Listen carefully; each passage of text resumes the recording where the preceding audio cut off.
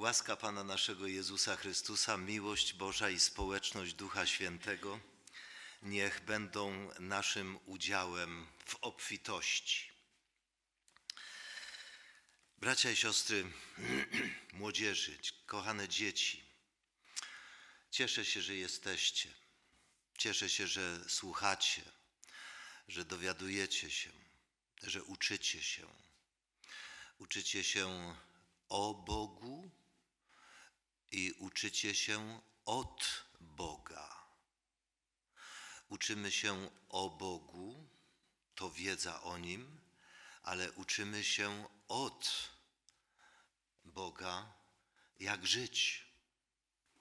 Pan Jezus wypowiedział to przepiękne zaproszenie, które przez wieki odbija się echem od szczytów najwyższych gór i brzmi przez pokolenia niezmiennie, ciepło i serdecznie.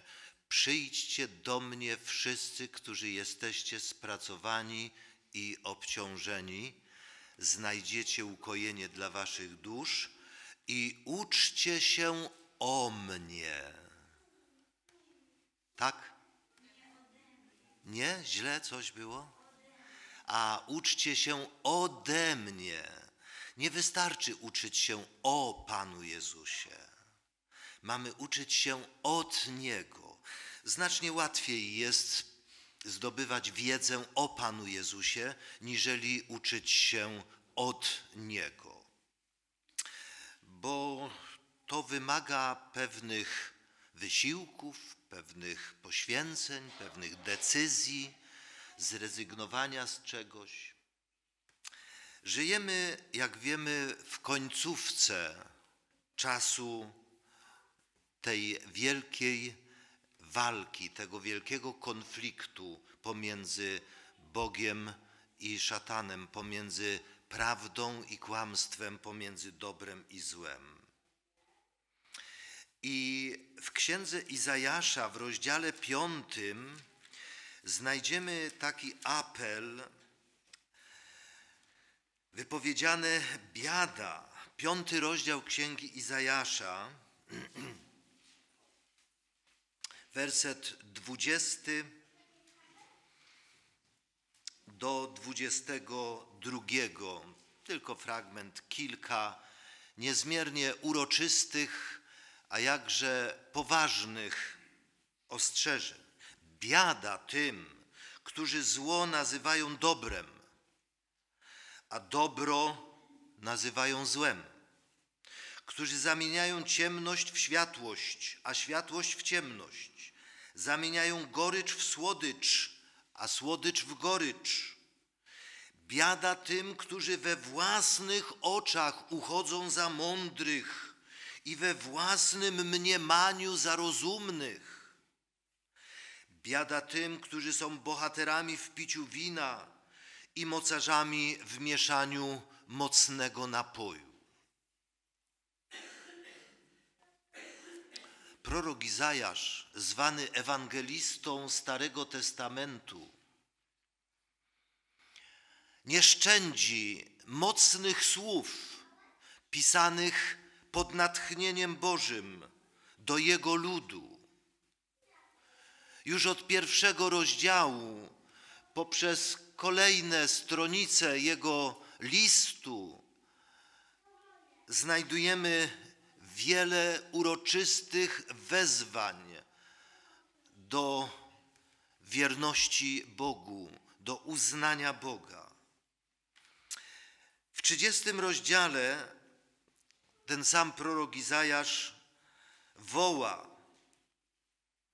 Werset pierwszy w 30 rozdziale Biada przekornym synom, mówi Pan, którzy wykonują plan, lecz nie mój. I zawierają przymierze, lecz nie w moim duchu, aby dodawać grzech do grzechu. A potem od ósmego wersetu w tym samym rozdziale Bóg mówi przez proroka, Bóg mówi do proroka.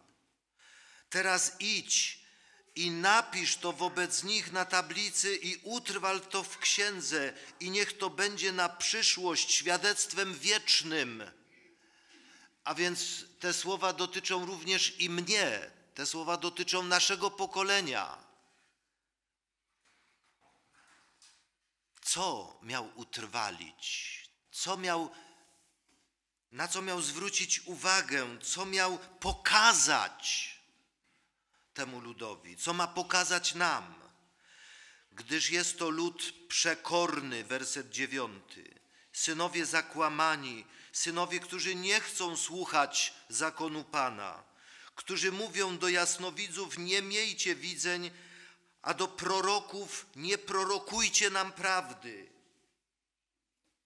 Mówcie nam raczej słowa przyjemne, prorokujcie rzeczy złudne. Zejdźcie z drogi, zboczcie ze ścieżki, dajcie nam spokój ze świętym Izraelskim. No, Izajaszu, może te słowa miały swoje zastosowanie w Twoim czasie, ale my, my nie jesteśmy przekorni. Nie, my nie jesteśmy przekorni. My jesteśmy pokorni. O, oby tak było. My nie mówimy do proroków, nie prorokujcie nam prawdy. Wiecie, niekoniecznie trzeba dosłownie powiedzieć te słowa.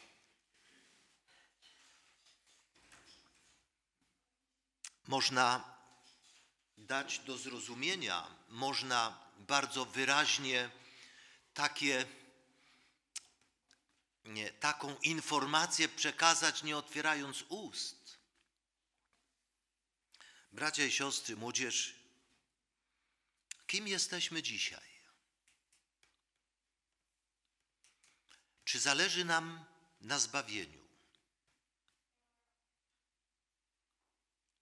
Czy zależy Tobie na zbawieniu? Ja stawiam to pytanie bardzo często, aby zachęcić każdego z Was do głębokiego zastanowienia się, jak bardzo zależy Ci na zbawieniu. Bo wiecie, chyba dobrze, że jeżeli komuś na czymś zależy, to to widać. Prawda? Nie trzeba mówić. Jeżeli tobie na czymś zależy, to inni to widzą, że ci na czymś zależy. Dlatego w czasie końca, tuż przed powtórnym przyjściem Pana Jezusa, a w takim czasie żyjemy, nabierają aktualności słowa z Księgi Objawienia, i nie będziemy ich czytać czy otwierać, bo znamy je. 14 rozdział od 6 do 9 wersetu. Trzej aniołowie lecący przez środek nieba. Ale moi drodzy, jako adwentyści częstokroć podkreślamy znaczenie tych wezwań kierowanych przez trzech aniołów. W adwentystycznym żargonie używamy tego zwrotu trójanielskie poselstwo. Znamy je. Ale chciałbym zwrócić uwagę, że na tym nie kończy się Boże przesłanie do tego świata. Godnym uwagi jest, czytając chronologię, czytając proroctwa biblijne w ich historycznym wymiarze, że żaden z reformatorów przed rokiem 1844 nie głosił Bójcie się Boga i chwałę Mu dajcie, gdyż nadeszła godzina Jego sądu. Bo ta godzina sądu należała do przyszłości. Interesujące zdanie znajdziemy w Księdze Dziejów Apostolskich dwukrotnie wypowiedziane Otwórzcie 17 rozdział dziejów apostolskich i werset 30 31. Bóg wprawdzie puszczał płazem czasy niewiedzy, lecz teraz jednak wzywa wszędzie wszystkich ludzi, aby się upamiętali, gdyż wyznaczył dzień, w którym będzie sądził świat w przyszłości. Apostoł Paweł mówił o sądzie w przyszłości.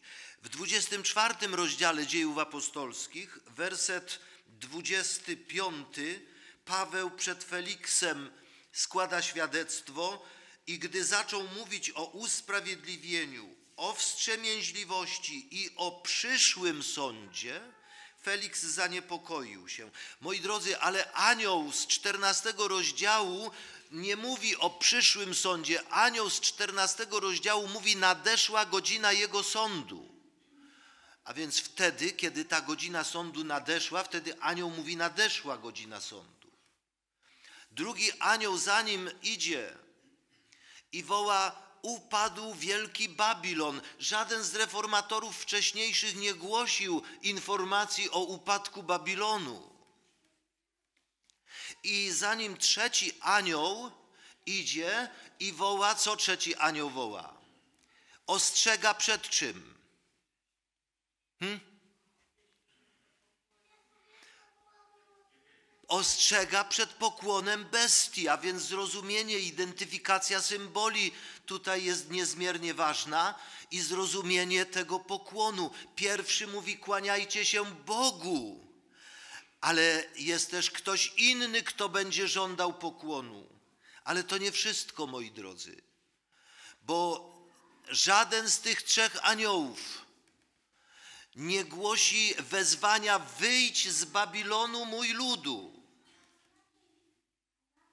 Dopiero pojawia się w wizji, w wizji Jana czwarty anioł, inny, już nieokreślony liczebnikami. W osiemnastym rozdziale opisany on jest, który stępuje z nieba, ma wielkie pełnomocnictwo i od jego blasku oświeciła się ziemia. Kto to jest ten anioł? I tenże anioł głosi uroczyste wezwanie: Wyjdź z Babilonu, mój ludu. W historii starożytności, w historii Biblii mamy opisane cztery wielkie wyjścia czy wyprowadzenia ludzi, niezależnie od ilości. Czytamy o Abrahamie, że jego historia rozpoczyna się od spotkania z Bogiem, który przychodzi do niego i mówi: Abrahamie, wyjdź z Ur, opuść ten kraj. I on miał go rzeczywiście fizycznie opuścić. I uczynił, i poszedł. Przez wiarę Abraham wyszedł, nie wiedząc dokąd idzie, poddał się prowadzeniu Bożemu. Potem mamy drugie wielkie wyprowadzenie, aczkolwiek niewielkiej ilości ludzi, kiedy przyszli posłańcy do Sodomy i Gomory i powiedzieli do Lota i do jego rodziny: Opuść Sodomę, wyjdź z Sodomy.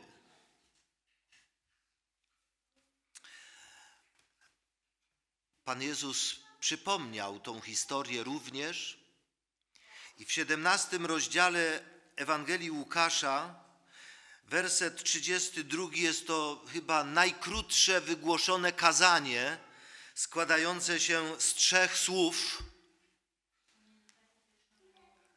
Dziękuję bardzo.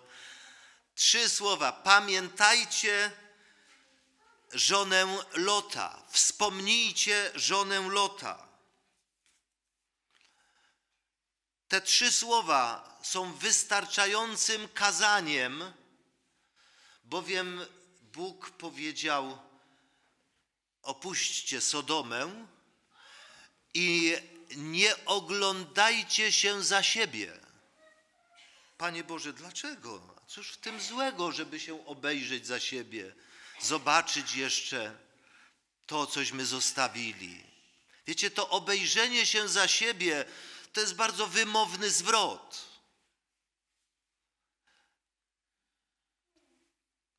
To polecenie Boże, nie oglądajcie się za siebie, to jest niezmiernie ważny i głęboki zwrot. I myślę, że rozumiemy jego sens, bo tu nie chodzi tylko i wyłącznie o spojrzenie i zachwycenie się pięknem krajobrazu, bo za chwilę tam zostaną zgliszcza i popiół. Potem mamy kolejne wyjście, kolejne wyjście to wyprowadzenie już całego narodu izraelskiego z Egiptu. Wyjście, które już zostało również uwiecznione we wstępie do dekalogu.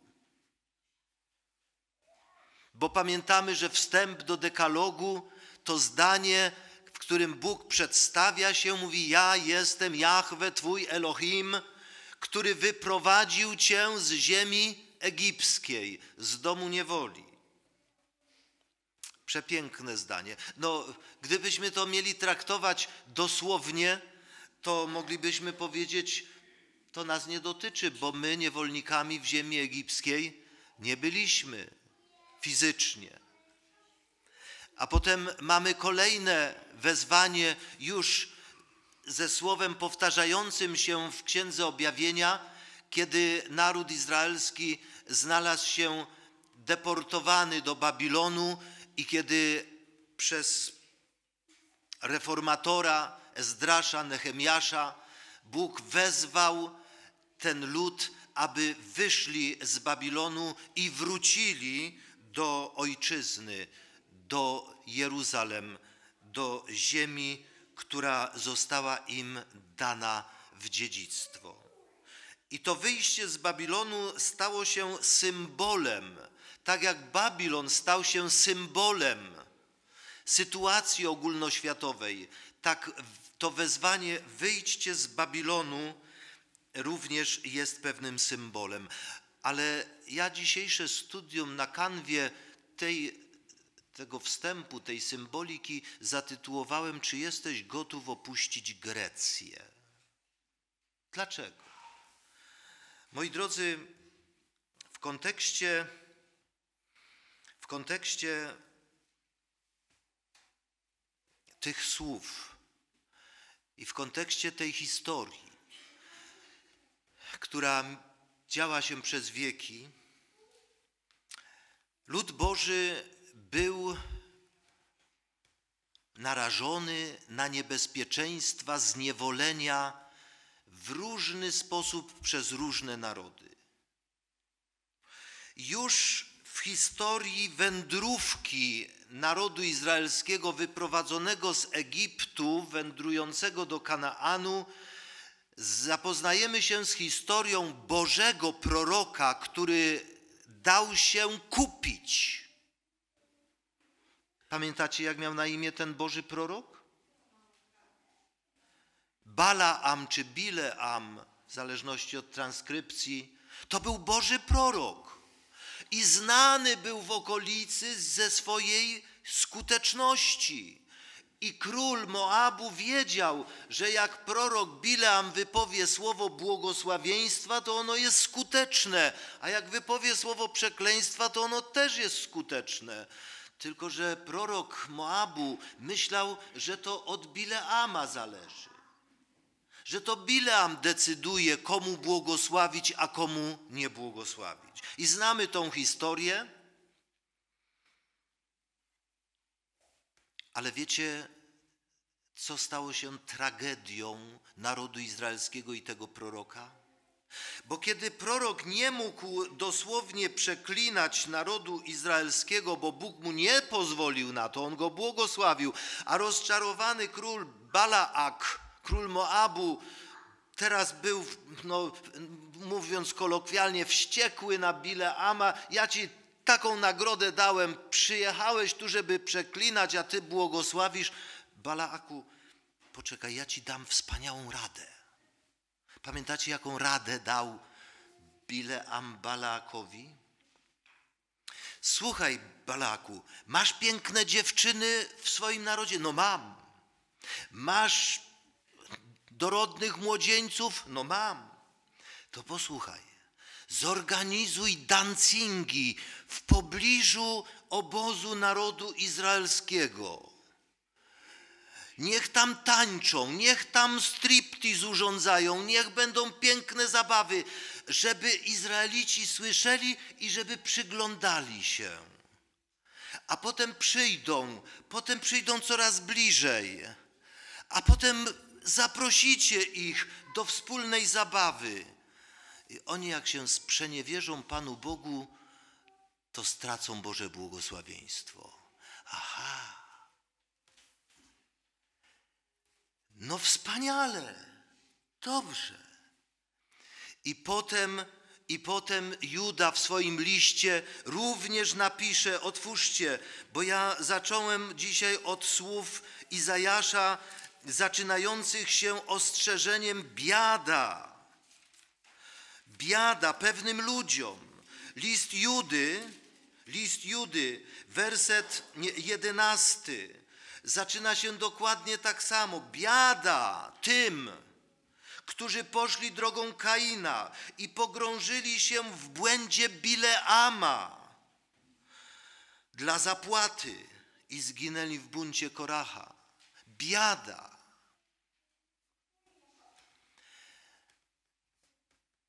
W historii wiele narodów walczyło z Izraelem, walczyło z prawdą Bożą. Co ma z tym wspólnego Grecja? Otóż, moi drodzy, wiele czasu upłynęło, zanim zdecydowałem się, aby o tym powiedzieć. I ten problem nie dotyczy może wszystkich, na pewno nie dotyczy wszystkich, mimo że wobec wszystkich mówię, ale niektórych tak. Czy wiecie, że to, co my dzisiaj nazywamy sportem, to, co współczesny świat nazywa sportem, to nie, to nie ma nic wspólnego ze sportem w jego pierwotnej formie. To, co dzisiaj nazywamy sportem, komercyjnym sportem, to jest kult bogów Olimpu. I my uczestniczymy w kulcie bogów Olimpu. Wszystkie olimpiady, które się odbywają, olimpijskie igrzyska, to jest kontynuacja kultu bogów Olimpu. Nawet nazwa nie została zmieniona, a każde igrzyska rozpoczynają się od rozpalenia ognia, nie od zapałki, ale tak zwanego wiecznego ognia, który prawdopodobnie, rzekomo w większym czy w mniejszym prawdopodobieństwie jest kontynuacją ognia palonego dawniej na Igrzyskach Olimpijskich ku czci bogów Olimpu. Poza tym, moi drodzy, gdy mówimy słowo igrzyska, to musimy zdać sobie sprawę również, ja za chwilę wrócę do pojęcia sport Musimy zdać sobie sprawę, że słowo igrzyska, pochodzące od słowa igraszki, to jest bawienie się cudzym kosztem. I mamy to w zwrotach nie igraj ze mną, nie igraj z ogniem. Igraszki to nie jest zabawa. To nie jest zabawa. Turniej Słowo turniej w swej etymologii ma słowo zamieszania, burdy, hałasu. Dziś pewne pojęcia niejako zmieniły swoje znaczenie, ale nie zmieniły swojej istoty. Dlatego też jako adwentyści rozumiemy, że nie bylibyśmy zadowoleni, gdyby ktoś nazywał nas parafianami, bo wielu ludzi nie wie, co znaczy słowo parafianin w jego pierwotnym znaczeniu. Wszyscy myślą, no parafianin to mieszkaniec parafii. Nie będę tego wyjaśniał, możecie sięgnąć do słowników, do obszerniejszych słowników, bo najnowsze edycje słowników też już nie dostarczają pełnej informacji, są wersje skrótowe, ale powiem dla uzupełnienia informacji, że słowo parafianin w języku, w języku łacińskim ma swoje podwójne znaczenie, tak jak w języku polskim słowo wieśniak.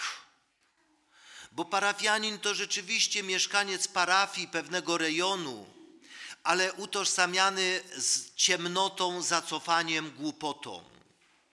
Gdy dzisiaj w języku polskim ktoś powie komuś wieśniaku, to nie ma na myśli wcale mieszkańca wsi, chociaż to słowo od wsi pochodzi. Te związki i znaczenie słów jest niezmiernie ważne, jest niezmiernie ważne. Moi drodzy, słowo sport pochodzi z łacińskiego zwrotu disporte, czyli opuszczenie, wyjście poza bramę. Porte, brama, dis, opuszczenie, wyjście poza. I oznaczało czynności, które sprawiały przyjemność, a wzmacniały fizycznie kondycję człowieka. Ale to były czynności dające przyjemność, zabawę, atrakcję. Kiedyś, jakiś czas temu, przypadkowo natrafiłem w audycji radiowej nocnej rozmowie. Szkoda, że, że tak tylko końcówkę usłyszałem. Rozmowę kilku pedagogów, psychologów, i z tej rozmowy zapamiętałem jedną rzecz, kiedy pewna pani psycholog, mówiąca o wychowaniu dzieci, o wychowaniu młodzieży, powiedziała tak. Rywalizację i konkurencję wymyślił chyba sam diabeł. Dlatego, że rywalizacja i konkurencja wzmacnia ducha walki i agresji i górowania i pokonywania rywali. To nie jest sport w jego pierwotnym znaczeniu, gdy za wszelką cenę ja muszę pokonać rywala, żeby udowodnić, że jestem lepszy. A tym bardziej, jeśli za tym idą niewyobrażalnie wielkie sumy pieniędzy. Kiedy triumfujący bawią się, cieszą się kosztem porażki innych. Ktoś mi wskazał dostępny w internecie pewien wykład, gdyby Chrystus spotkał się z Buddą, co by powiedzieli sobie? Z tego wykładu powiem wam jedno zdanie, to jest dostępne dzisiaj w internecie, ale mówca mówi tak, że jeden z lamów zastanawiał się nad skompletowaniem drużyny futbolowej buddystów. Ale po przemyśleniu, a raczej po przemedytowaniu, zrozumiał, że to nie ma sensu, bo drużyna buddystów nigdy nie wygrałaby żadnego meczu. Wiecie dlaczego? Bo prawdziwy buddysta piłkę podawałby swoim, swoim przeciwnikom i mówi: Masz, proszę buddysta, futbolista buddyjski podawałby piłkę swojemu przeciwnikowi, mówiąc: Masz, proszę.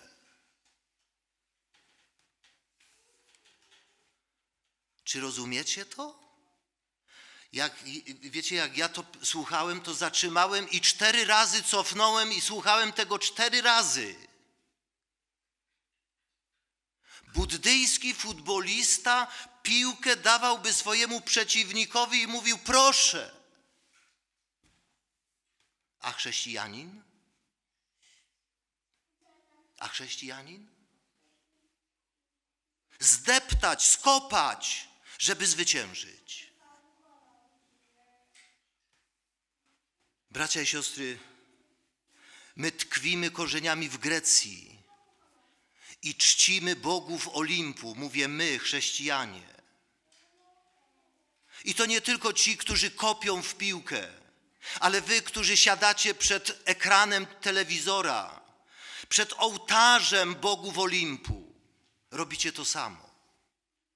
Nie miejcie mi za złe, że dotykam tej rzeczy, ale czas, aby powiedzieć o tym, aby zdać sobie sprawę, aby uświadomić sobie, że Bóg przez proroka Izajasza powiedział: Biada tym, którzy zło nazywają dobrem, a którzy dobre nazywają złem.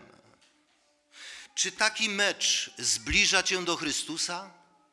Czy taki mecz pomaga ci w rozwoju chrześcijańskiego charakteru i miłości nieprzyjaciół? Pomaga ci? Młodzi chłopcy, którzy organizują tak zwane turnieje piłki, nasi bracia adwentyści, powiedzieli mi wujek, na niektórych meczach to nie chciałbyś być. Dlaczego?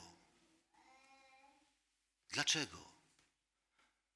Ano, bo to, co się tam dzieje, to nie chciałbyś słyszeć. Moi drodzy, czas, żeby nad tym się zastanowić. Czas, aby postawić sobie pytanie, czy jestem gotów opuścić Grecję i zostawić bogów Olimpu. Niech uprawiają ten kult ci, którym bogowie Olimpu błogosławią. Ale my chcemy przygotować nasze serca na dzień powrotu Jezusa Chrystusa. My chcemy wejść na nową ziemię.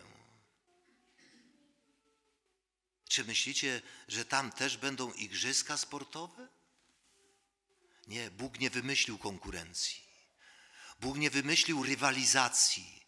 Bóg nie wymyślił i nie jest autorem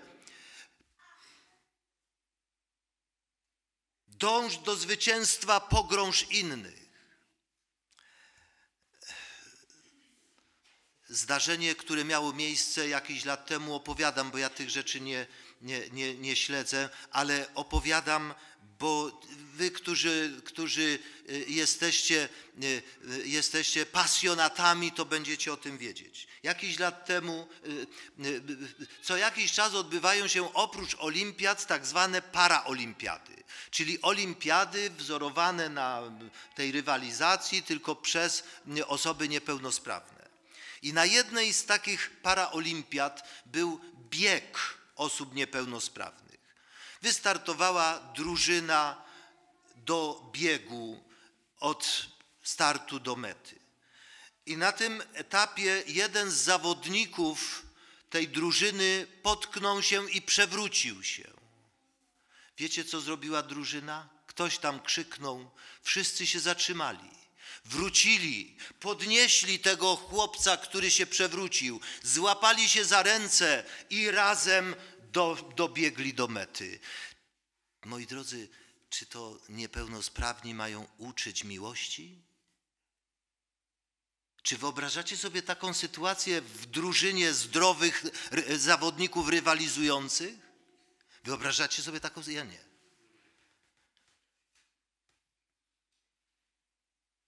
Moi drodzy, kim my jesteśmy? Kim my jesteśmy? rozpoczęliśmy, czy tekst, który wskazałem e, jako, jako wiodący w naszym studium z drugiego listu do Koryntian, rozdział szósty, werset pierwszy. A z tego szóstego rozdziału przeczytamy kilka myśli więcej. Ten szósty werset brzmi: jako współpracownicy. Czyi współpracownicy?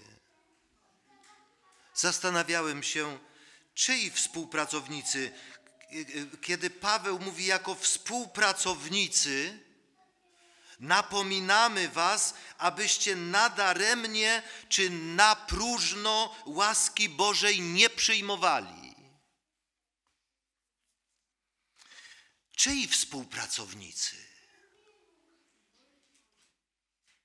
Paweł nie dopisał tutaj czyi współpracownicy. Ale ja nie mam wątpliwości, że Paweł wiedział, że jesteśmy współpracownikami Boga. Że jesteśmy współpracownikami Boga. To wielkie słowo współpracownicy. To jest wielkie słowo. Ale to napomnienie Pawła jest w tym kierunku, aby łaski Bożej nie przyjmować na próżno, nadaremnie. Co to znaczy? Więc trzeba zdać sobie sprawę, w jakim celu Bóg nam okazuje łaskę. Jaki skutek w naszym życiu ma przynieść łaska Boża? My wiemy, że Bóg pragnie przywracać w każdym swoim naśladowcy, przywracać piękno charakteru Boga. No ale Panie Boże, Ty wiesz, ja się taki już urodziłem, taki jestem i się nie zmienię. Jestem e, e, impulsywny, jestem nerwowy, taki jestem, taki się urodziłem, ja, ja za to nie mogę. A Pan Bóg mówi: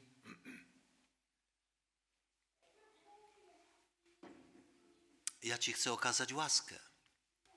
A ta łaska ma przynieść pewien oczekiwany skutek. Wiecie, jeżeli mnie brzuch boli i lekarz mi daje lekarstwo, to mnie nie interesuje nazwa.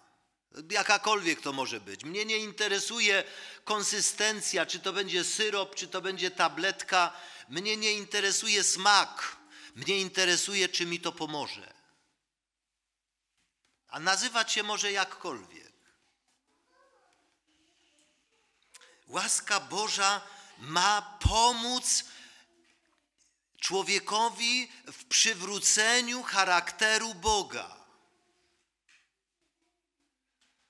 Siedząc przed ekranem telewizora i obserwując, a powiem Wam ze smutkiem, niektórzy są takimi pasjonatami sportu, że nawet na nabożeństwie, a dzisiaj jest ta możliwość, na, nawet na nabożeństwie siedzą, słuchają tam, a pokryjomu patrzą, obserwują, co się na stadionie dzieje w tej chwili, bo akurat mecz w tej chwili ważny jest. I muszą pierwsi wiedzieć. No, byłoby źle, jakby się dowiedział pięć godzin później.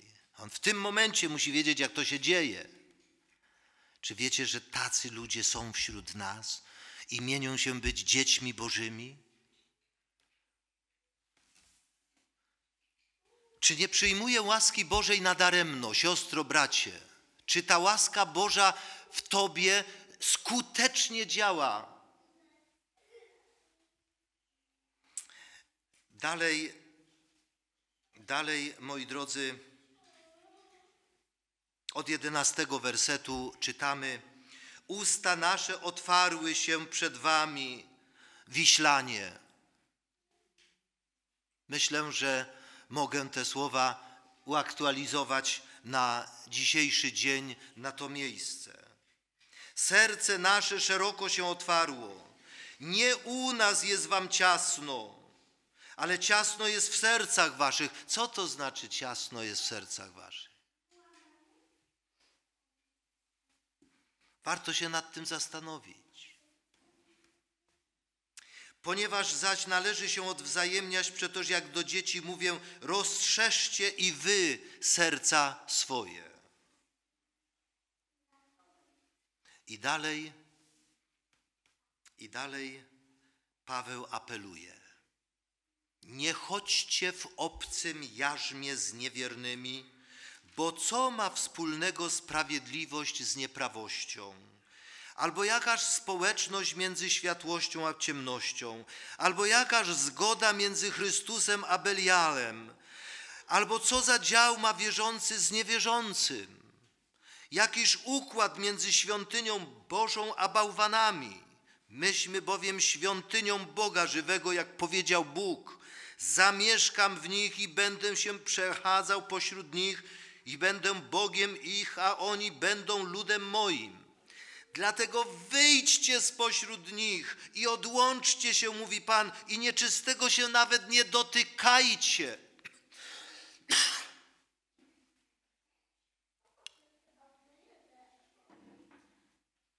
A ja was przyjmę i będę wam ojcem, a wy będziecie mi synami i córkami, mówi Pan Wszechmogący. Mając wtedy te obietnice, umiłowani, oczyśćmy się od wszelkiej zmazy ciała i ducha, dopełniając świętobliwości swojej w bojaźni Bożej. Moi kochani, apostoł Paweł tutaj wzywając do wyjścia, nie precyzuje, nie używa żadnej nazwy. Nie mówi wyjdźcie z Babilonu, ani nie mówi wyjdźcie z Egiptu, ani nie mówi wyjdźcie z Sodomy i Gomory. Ale te pojęcia są w Księdze Objawienia symbolicznie używane. W jedenastym rozdziale jest duchowa Sodoma i duchowy Egipt, jest duchowy Babilon i symbole potęg starożytnych, które występują w Piśmie Świętym, są w dalszym ciągu symbolami zniewalającymi dzieci Boże, odwracającymi od uwagę od, od, od Chrystusa, od celu, od sensu powołania. Dlatego Paweł stawia tu kilka retorycznych pytań. Jaka jest społeczność między światłością a ciemnością? Jaka jest zgoda między Chrystusem a Zeusem? Czy Hermesem, czy innymi bóstwami Egiptu, Grecji, Babilonii, Rzymu, Medopersji, czy jakichkolwiek innych narodów? Jaka jest społeczność? Jaki układ między świątynią Bożą a bałwanami? Czy, siostro i bracie, czy dociera do Twojej świadomości fakt, że jesteś świątynią Boga żywego? Czy dociera to do Ciebie? Czy dotarło to? A może nie zależy Ci na zbawieniu?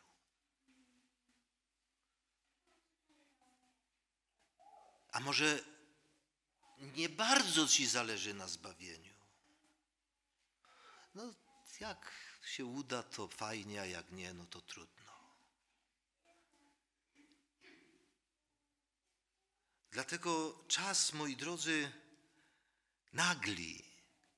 I to wezwanie, wyjdź z Babilonu, ludu mój. To wezwanie powinno gromkim głosem dzisiaj brzmieć i być słyszane. Ale jak wychodzić z Babilonu, jak nam tam jest fajnie, jak tam jest ładnie, jak tam jest przyjemnie? Kościół stoi przed poważnymi problemami, jak wiecie, i będziemy mieli poważne problemy za kilka miesięcy gdy pod wpływem ostatnich przemówień, kazań, dyskusji wielu w grudniowe święta postawi choinkę w swoim domu, a niektórzy będą napierać, aby postawić też w zboże, bo to przecież nic złego. Bo inni to robią. I oglądamy i uczestniczymy w kulcie bóstw Olimpu, i oglądamy i mówimy, to nic złego, to nic złego. Zachęcamy młodzież, aby szli, kopali w piłkę, a przy okazji nogi kolegów, byle wygrać, byle wygrać.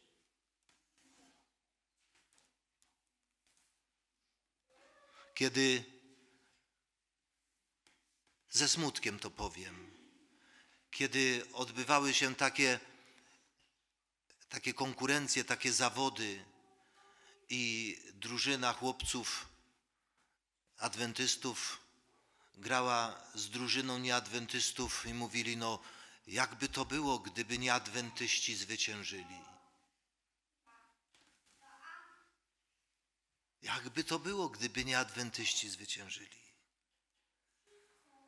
Buddyści na stadionie sportowym oddawaliby piłkę swoim przeciwnikom, mówiąc proszę.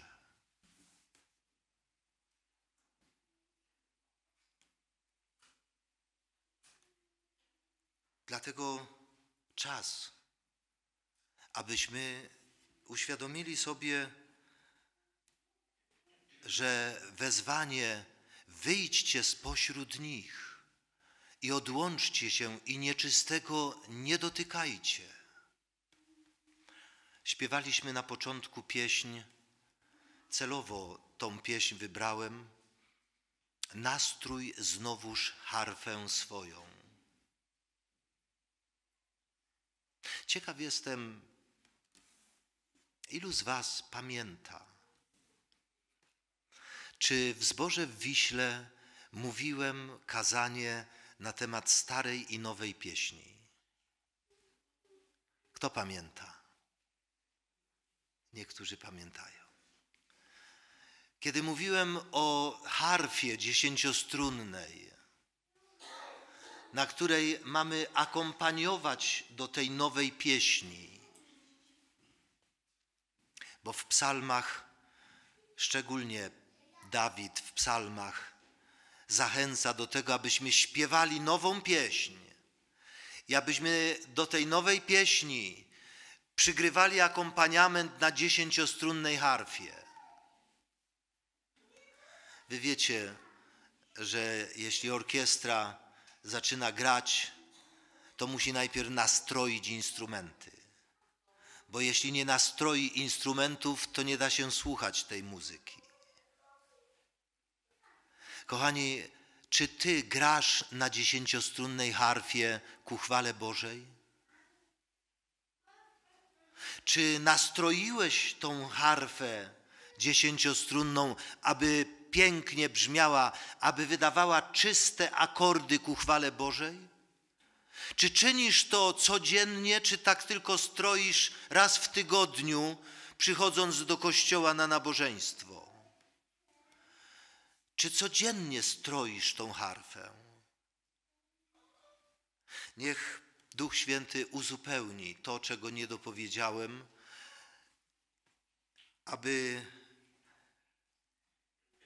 rzeczywiście w dniu, gdy powróci Pan Jezus, nikogo z nas nie zabrakło na nowej ziemi. Tego życzę Tobie i sobie. Amen.